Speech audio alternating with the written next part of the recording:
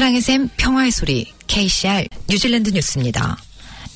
뉴질랜드 주재 이란 대사는 목요일 회의에서 국회의원들 앞에 섰습니다.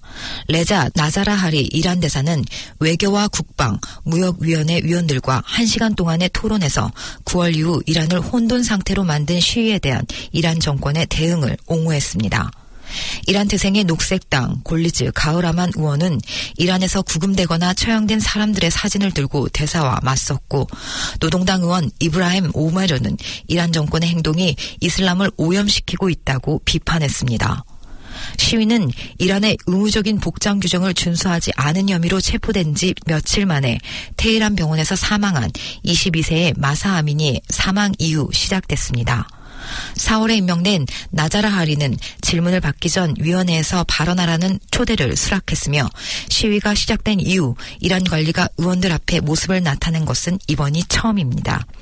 국회의 유일한 무슬림 의원인 노동당 아브라임 오메르 의원은 이란이 여성과 소녀들을 고문하고 억압하며 살해하는 도구로 이슬람을 사용하고 있다고 대사에게 지적했습니다. 오메르에 대한 응답으로 나자라 하리는 처형된 모든 사람이 범죄를 저질렀다고 말했으며 또한 미사 아미니가 경찰에 의해 의도적으로 살해되었다는 사실도 부인했습니다. 뉴질랜드 방위군은 새로운 정부 전략의 일환으로 보다 적극적이고 목적 있는 접근 방식을 취하며 전투 준비 태세를 강화할 것이라고 밝혔습니다. 금요일 아침에 발표된 고위급 문서는 현재 능력이 증가하는 안보 위협과 지역의 기후 변화의 영향에 대응하기 위해 적합한 상태에 있지 않다고 경고했습니다. 국회에서 새로운 방향을 공개하며 앤드루 리틀 국방부 장관은 참석자들에게 뉴질랜드가 수십 년 동안 겪었던 것보다 더 많은 지정학적 도전에 직면해 있다고 말했습니다.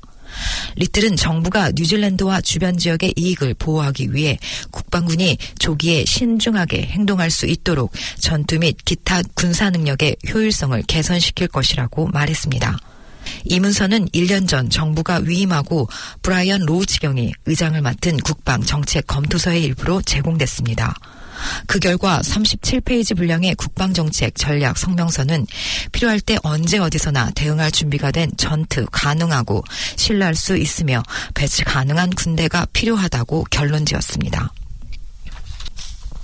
컨슈머 뉴질랜드가 의심스러운 가격 특별 상품에 대한 80건의 불만을 접수한 후 상무위원회는 슈퍼마켓을 기소하는 것을 두려워하지 않는다고 경고했습니다.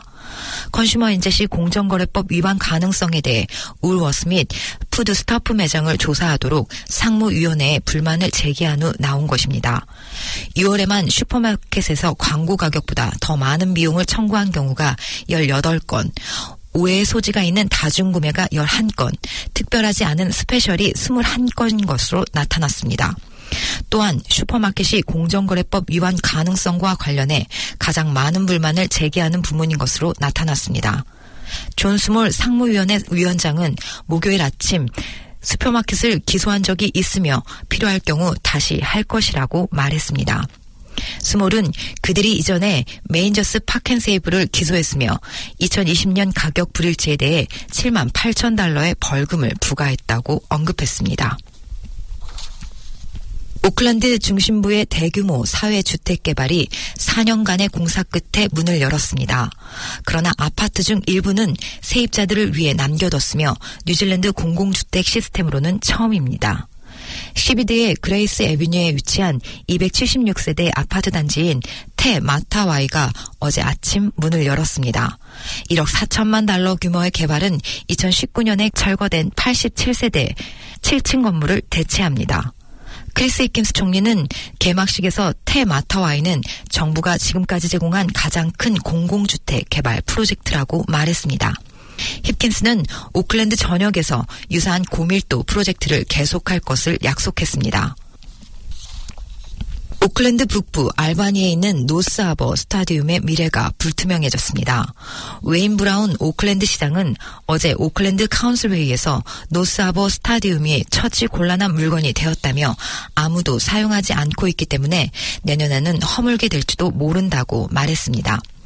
노스하버 스타디움은 council 소유이긴 하지만 시장이 어떻게 할지 결정할 권한을 갖고 있는 것도 아니고 council에서 허물기로 결정할 것도 아닙니다. 그러나 council은 지난주 브라운 시장의 제의로 스타디움 실무단을 만들어 노스하버 스타디움과 관련한 문제들을 다각적인 검토를 하기로 했습니다. 지난 1997년에 개장한 2만 5천석 규모의 노스하버 스타디움은 회의장을 갖춘 스포츠 시설로 럭비는 물론 축구와 야구 등 각종 국제대회가 열린 적이 있으며 뉴질랜드 풋볼, 노스하버 럭비, 마리스트 노스하버 럭비 클럽과 하버 스포츠팀이 홈 구장 등으로 사용해 오고 있습니다. 오늘의 환율 정보입니다. 뉴질랜드 달러와 대비 원화의 기준 환율은 790원 83전, 한국에서 보낼 때 798원 73전, 한국에서 받을 때 782원 93전입니다.